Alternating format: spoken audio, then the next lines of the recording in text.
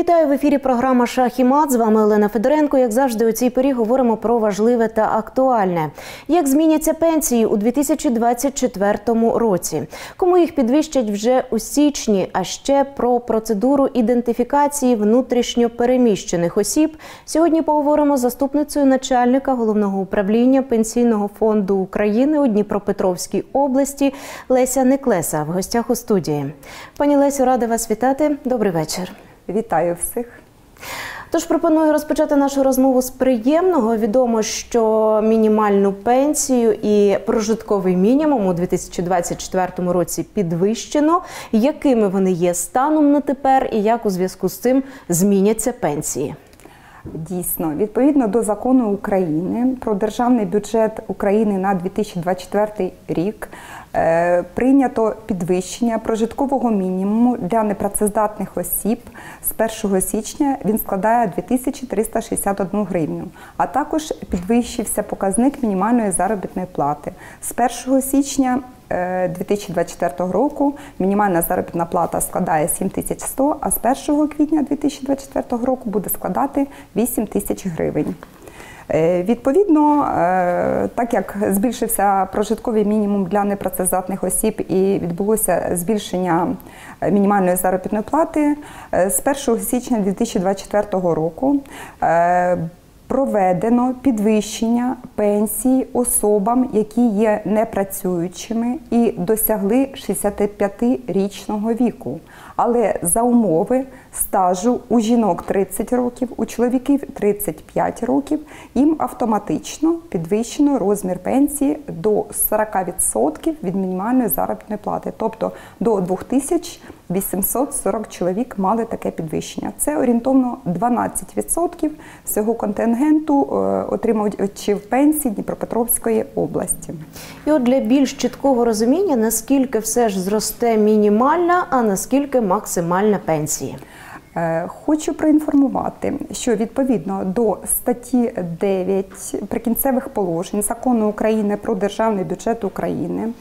Перерахунок пенсії відповідно до збільшення прожиткового мінімуму для непрацездатних осіб, а також для перерахунку пенсії максимальної пенсії, і взагалі всіх пенсійних виплат та доплат до пенсії, буде проведено з 1 березня 2024 року разом з індексацією пенсії. Але ті особи, які звертаються вперше за призначенням пенсії, з 1 січня 2024 року у них застосовується прожитковий мінімум для обчислення пенсії 2361 гривна. Прожитковий мінімум для непрацездатних осіб це є мінімальна пенсія. Тому е, всі Показники е, прожиткового мінімуму будуть застосовуватися при зверненнях після 1 січня 2024 року. Але треба обов'язково звернутися, так е, просто в кого так є право на первинне призначення пенсії. Звісно, основний розмір пенсії буде рахуватися від заробітної плати та стажу, який особа здобула. А також всі доплати за понаднормативний стаж буде розраховуватися з розміру е, прожиткового мінімуму для непрацездатних осіб 2360 51 гривні, а також максимальний розмір пенсійних виплат. Якщо особи звертаються за призначенням пенсії після 1 січня 2024 року, теж буде складати це 10 прожиткових мінімумів 23 тисячі 610 гривень. Але ті пенсійні виплати, які були е, нараховані, е, перераховані до 1 січня 2024 року, вони залишаються на рівні мінімальна пенсія 2093 гривни, а максимальна пенсія 20 тисяч 930 гривень. Але з березня місяця, як я вже говорила, буде разом з індексацією да, буде проведено відповідне підвищення. А, До речі, от скільки відсотків мешканців Дніпропетровщини станом на тепер отримують мінімальну пенсію, а скільки відсотків максимальну? Мінімальну пенсію отримує 3%. Е, Невеликий показник. Невеликий показник. І 1% отримує максимальну пенсію Дніпропетровщини. А в середньому 31% отримує пенсію в розмірі від 5 е, тисяч до 10 тисяч. А взагалі середній розмір пенсійної виплати з урахуванням всіх надбавок, підвищень, доплат складає 5 тисяч 800 гривень по Дніпропетровській області. Тобто найбільша кількість пенсіонерів у нас отримують пенсії ось 5 тисяч Від 800. 5, да, від, ні, це, Від п'яти середній, до десяти. це середній розмір 5800. Так. А 31% да, це найбільший відсоток, який отримує пенсію е, до, е, Від 5 до 10 від 5 до тисяч 10 гривень, тисяч, так. зрозуміло. На сайті Пенсійного фонду України і також йдеться про підвищення грошових виплат е, особам, які мають ос- особливі заслуги перед батьківщиною. Про кого саме йдеться, і от власне кому і наскільки підвищать е, пенсії у зв'язку з цим? А, да, дійсно. Постановою уряду 20 січня 2023 року номер 79 прийнято е, підвищення пенсій е, та грошових е, виплат особам, які мають особливі заслуги перед, батьків, перед батьківщиною. До зазначених осіб відносяться та категорія, які мають звання Герої України з врученням ордена Золота зірка. Е, Розрахунок виплат цієї категорії провадиться від розміру мінімальної заробітної плати. Тобто цієї категорії е, передбачено виплата е, три мінімальних заробітної плати, тобто сума 21 тисяча 300 гривень. Також е, орденом, ті, хто нагороджені орденом Богдана Хмельницького трьох ступенів, їм теж передбачені підвищення у розмірі двох мінімальних заробітних плат, тобто 14 тисяч 200 гривень. Це з 1 січня. Е, Ті особи, які нагороджені орденом за мужність трьох ступенів, теж передбачена виплата у розмірі одного однієї мінімальної заробітної плати 7100, але теж трьох ступенів зазначаю, тому що коли у особи є тільки там перша ступінь або друга ступінь. Треба, щоб всі три ступені були. Е, Також е, ті особи, які нагороджені громадяни е, орденом княгині Ольги трьох ступенів теж мають на виплату у розмірі 7100 гривень. І е, на виплату мають особи, які є непрацездатними членами сім'ї загиблих героїв України, е, ті, які нагороджені певними відзнаками теж трьох ступенів, і їм виплата. е, Визначена в розмірі теж 7100 гривень, в розмірі мінімальної заробітної плати. І це вже з 1 січня. З 1 січня, да, перераховано автоматично. Хто має право, вони мають право звернутися до пенсійного фонду, подати відповідні документи, подати заяву. І незалежно має статус пенсіонера ця особа чи не пенсіонера, вона звертається до органів пенсійного фонду, до будь-якого сервісного центру і подає зазначені документи, і призначається надбавка за особливі заслуги перед батьківщиною. Кількість донорів в Україні у зв'язку з воєнним станом постійно зростає. Люди здають кров і тим самим рятують наших захисників. От е, чи передбачені якісь доплати до пенсії саме почесним донорам, і чи е, якщо так, то чи зростуть вони у 2024 році? Звісно, е, передбачені доплати донорам почесним. Вони зростуть і теж обраховуються з певного прожиткового мінімуму для визначених осіб. Цей розмір розраховується з прожиткового мінімуму 2920 гривень. І доплата складає 10% від прожиткового мінімуму, тобто з 1 січня донори мають право на надбавку 292 гривні. До 1 січня в минулому році ця надбавка складала 258 гривень 90 копійок. Е, У нас е, кількість отримувачів е, зазначеної надбавки складає близько 5 тисяч. Це по області. По області, да. Це з е, 808 885 тисяч отримувачів в цілому пенсійних виплат по області, по Дніпропетровській. Да, а 5 тисяч осіб мають таку надбавку. Це піввідсотки якби, від контингенту. Індексація пенсійних виплат е, має відбутися у березні. Втім, є певні ризики. Зокрема, про це заявила е, міністерка соціальної політики Оксана Жолнович в ефірі телемарафону Єдині новини наприкінці року. От е, з чим пов'язані ці ризики, і яка ймовірність, що запланована щорічна індексація може не відбутися? Е, З приводу індексації хочу зауважити, що проведення індексації визначено статтею 42 Закону України про загальнообов'язкове державне пенсійне страхування. І, звісно, урядом щороку приймається відповідна постанова, якою затверджується порядок проведення індексації. Визначається е, коефіцієнт, е, визначаються розміри проведення індексації. Тобто, в минулому році, коли була прийнята постанова, то е, визначені були певні обмеження. І тому ми сподіваємося, що в законі прописана ця стаття, і буде прийнято певну постанову урядом, і індексація разом з перерахунками пенсій у зв'язку зі зростанням прожиткового мінімуму буде проведена. Тому жодних сумнівів е, е, не викликає якби не проведення цієї індексації. До речі, з моменту воєнного стану пенсійний фонд своєчасно фінансує всі виплати, жодних затримок з виплати пенсій, субсидій, пільг, страхових виплат, лікарняних е, листів не було, оплати лікарняних листів. Тому е, поки що не варто хвилюватися громадянам і вірити Українці в те, можуть бути спокійними. да, вірити в те, що всі виплати будуть виплачені своєчасно. Ну, це гарна новина, але є ще й не дуже втішна. Я про стаж, який в Україні щороку зростає. Яким він має бути для людей, які збираються йти на пенсію у 2024 році, і доколи він зростатиме?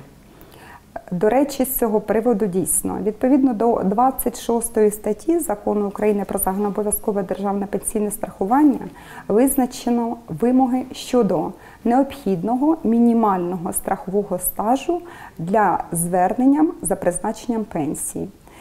Всього необхідно стажу 35 років буде у 2028 році. Але в 2024 році мінімальний стаж для призначення пенсії у людини повинен складати 31 рік. І умовою є досягнення пенсійного віку 60 років. Якщо у особи, яка звернулася, досягла пенсійного віку 60 років, звертається до органів пенсійного фонду, і в неї недостатньо стажу, а має стажу лише 21 до 30, з 21 до 31 року. Ну, з 21 до 30 це, це ще багато. Якщо в неї є стільки стажу, то вона має право за зверненням на призначення пенсії лише у 63 роки.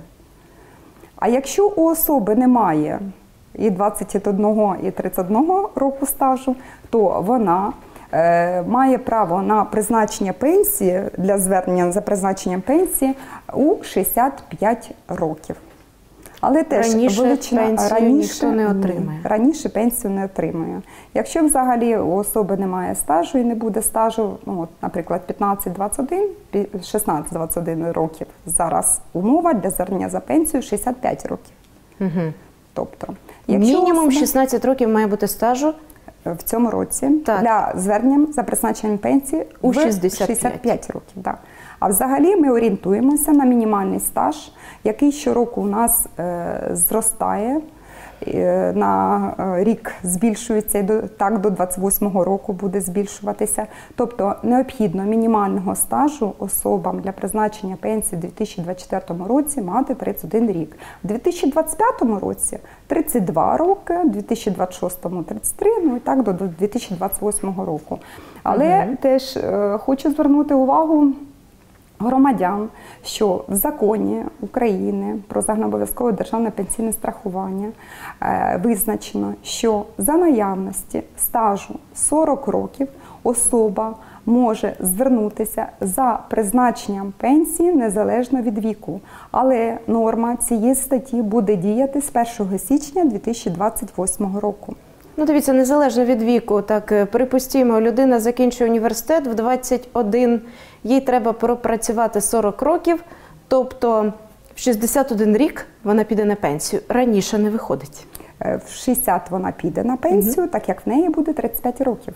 Необхідного стажу мінімального, яке визначено в законодавстві. зрозуміло. Мінімальний стаж визначено однаково як для жінок, так і для чоловік 35 років. Якщо раніше е, були певні критерії для жінок, е, необхідно було 30 років стажу мати мінімального, а для чоловіків 35. Так, А то до- зараз зрівняли. То зараз вже вирівняли да, 31 рік для всіх мінімального стажу, ну і поступово з 2025 року для усіх осіб, жінок і чоловіків, необхідно мати буде мінімального стажу 35 років.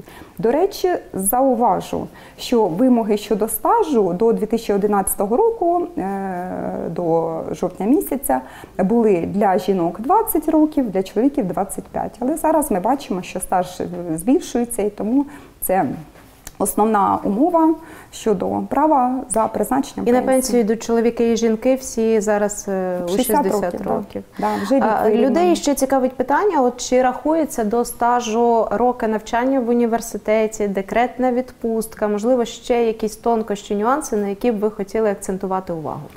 Е, Ну, по-перше, страховий стаж таке поняття визначено в законі України е, 1058 2023 року про загальнообов'язкове державне пенсійне страхування, про яке я сьогодні дуже багато разів посилаюся.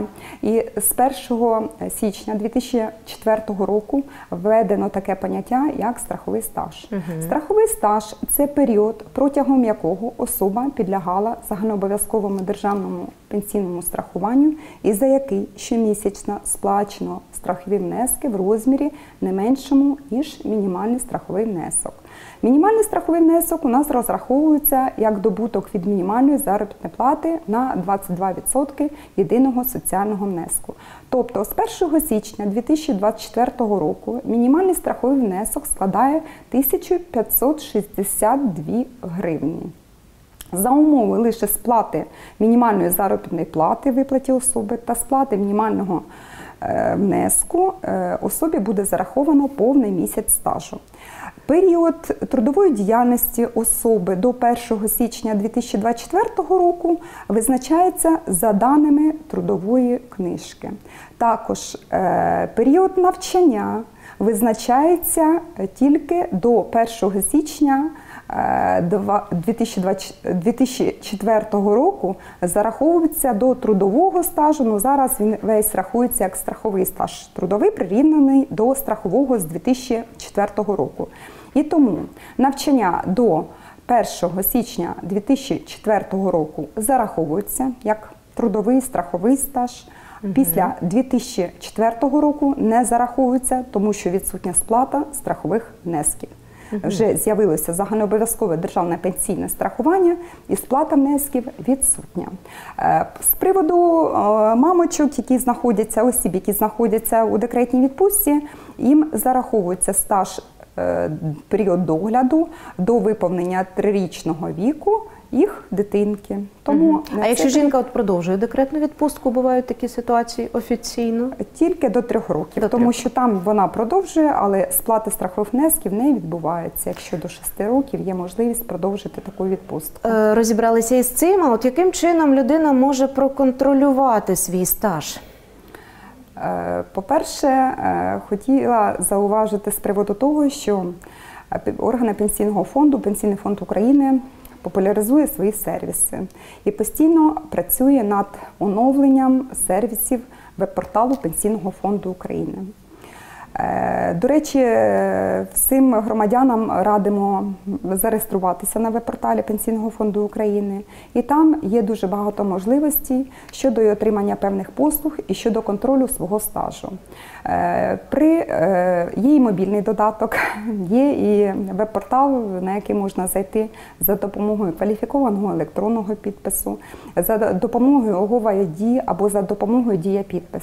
Тобто особа авторизу- в- у особистому кабінеті на веб-порталі пенсійного фонду, і там е, дуже багато вкладок, які може переглянути особа, в тому числі і сплата страхових внесків.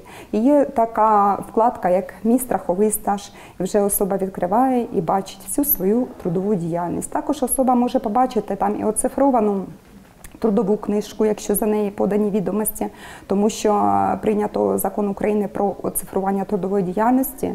І зараз органи пенсійного фонду е, активно проводять відповідну роботу по оцифруванню певних періодів трудової діяльності там кожної особи, яка подала е, відповідні відомості, тобто скановані копії трудової книжки, або особисто, або роботодавець за неї подав через особистий кабінет страхувальника. Е, Ці відомості потрапляють, ми здійснюємо цифрування, і, звісно, теж воно дораховується до страхового стажу. Який особа може отримати, ну побачити в своєму особистому кабінеті.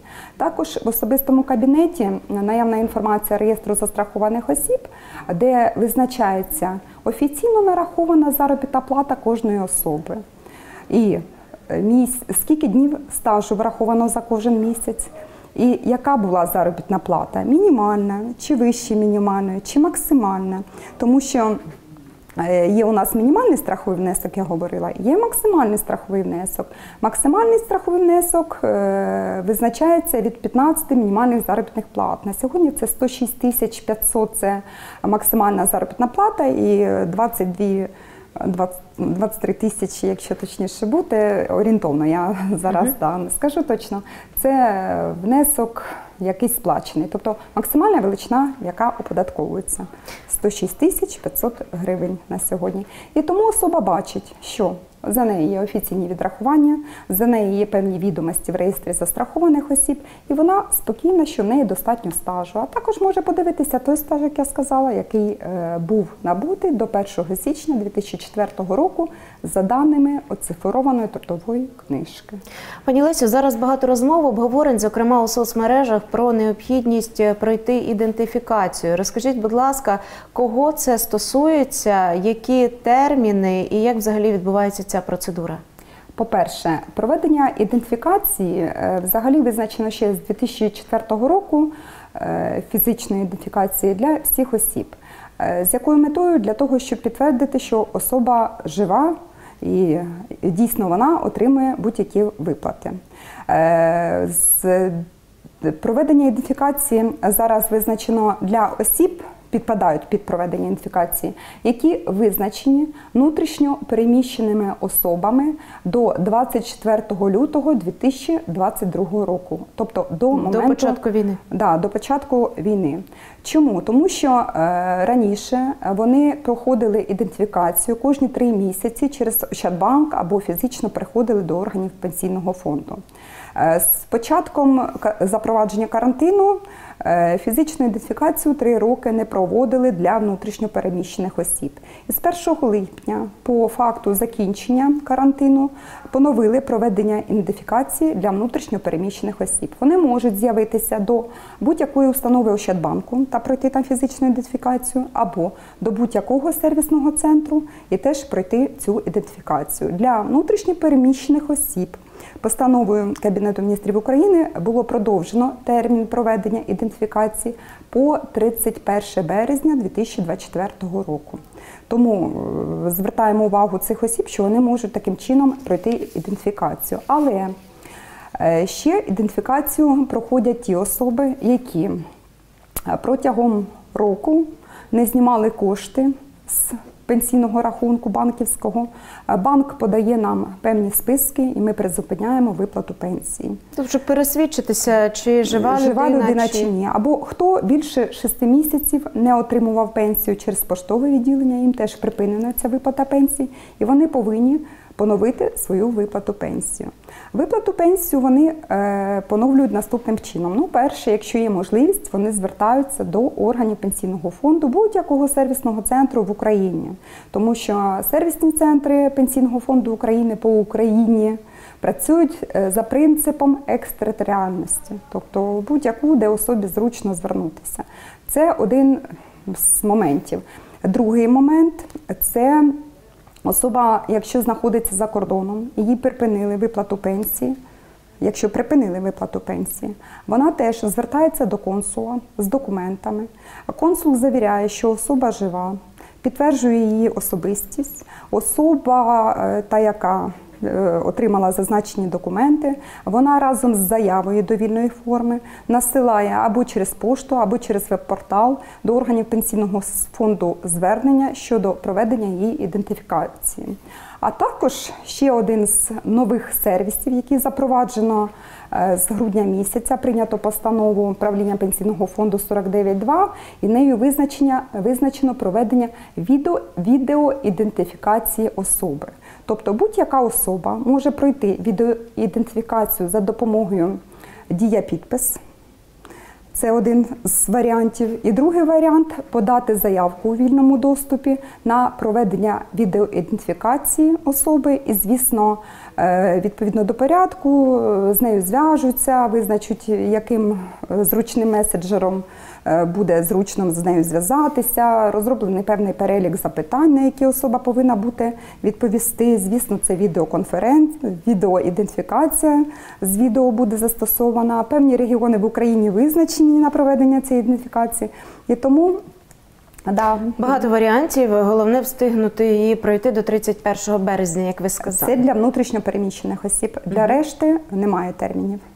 Пані Лесі, дякую вам за цю інформацію, за вичерпні відповіді. Але хочу ще вам запропонувати бліт. Це рубрика коротких запитань відповідей. Спробуємо? Спробуємо. Тоді починаємо.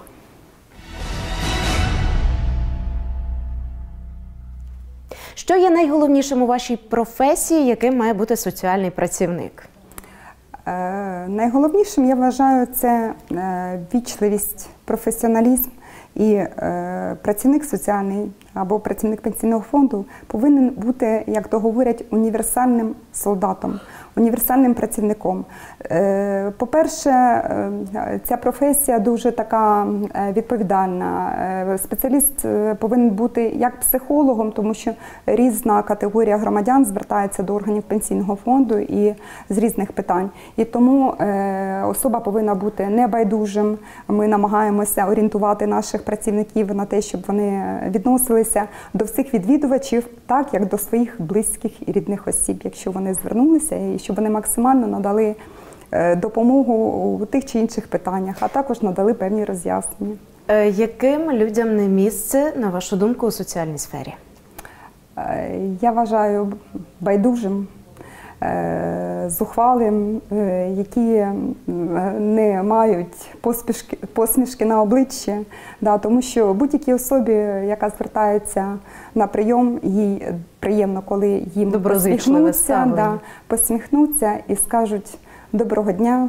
Слухаю вас, які у вас питання, порадять, вислухають. Тому що переважно не тільки по своїм питанням е, люди звертаються, а хочуть розповісти ще якісь особисті моменти. Багато таких випадків є. Е, Пані Лесю, ким ви мріяли стати у дитинстві? Питання цікаве. Ви знаєте, коли я е, була у дитячому садочку, мені хотілося бути вихователем. Е, Коли я навчалася у школі, мені хотілося бути вчителем. А коли вже закінчила школу, чомусь мені хотілося працювати, мабуть, у правоохоронних органах. От я і знову ж таки, робота з людьми, робота з дітьми, Да. спілкування і все ближче до соціальної сфери. Однозначно, так. Да. А от якби ви була нагода змінити, е, точніше, не так, не змінити, обрати нову спеціальність і ще одну, яку б обрали і чому? Е, Мабуть, юридично обрала чому? Тому що е, повсякденній роботі дуже великий обсяг опановую законодавчих нормативних актів. Тобто ми без них, е, в принципі, ми керуємося ними щодня.